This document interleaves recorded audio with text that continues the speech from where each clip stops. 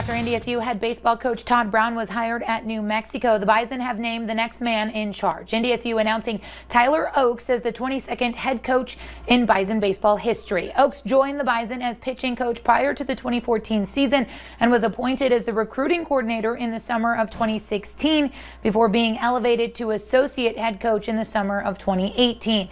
Under Oakes, the Bison pitchers have recorded seven of the top 10 strikeout totals in school history. The top five single season totals have all come under Oakes, and this past year, the Bison pitchers also set team school records in wins, saves, and innings pitched.